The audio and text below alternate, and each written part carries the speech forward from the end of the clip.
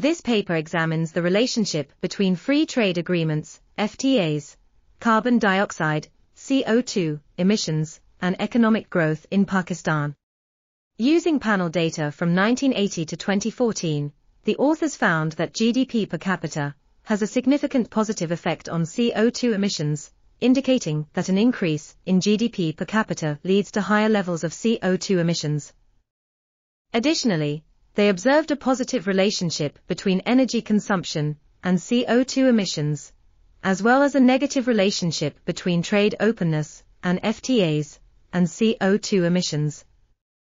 These findings suggest that policymakers should consider implementing policies to reduce energy consumption and promote trade in order to mitigate the negative effects of increased CO2 emissions. This article was authored by Aneel Salman, Bakhtawar Sethi, Faheem Aslam, and others. We are RTCL.TV, links in the description below.